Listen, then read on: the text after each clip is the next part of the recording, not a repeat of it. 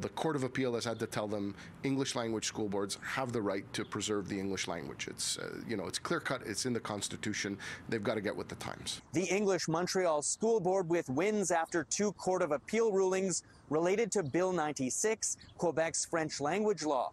The first ruling rejected a challenge by the CAQ government to a Quebec Superior Court decision that provided the EMSB with a partial stay of provisions of Bill 96 in April that would have required English school boards in Quebec to communicate exclusively in French when interacting with other English speaking community organizations while this legislation is being challenged in court. The government, of course, was wrongheaded in deciding to appeal. So this decision makes it very clear that English language school boards are an English institution and they have the right to uh, work and communicate in English. I think it's important. I think it's necessary.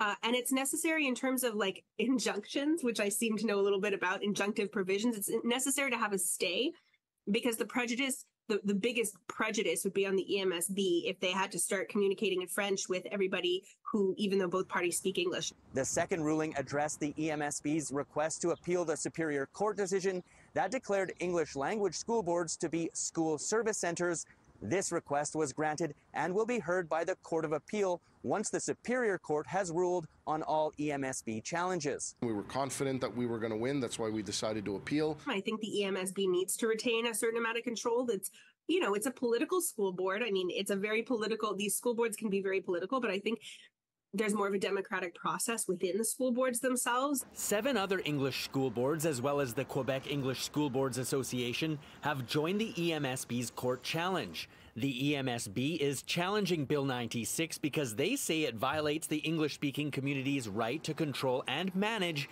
its educational institutions under Section 23 of the Canadian Charter of Rights and Freedoms. The courts are demonstrating once again that, you know, we're not coming out of left field here. We're making reasonable arguments.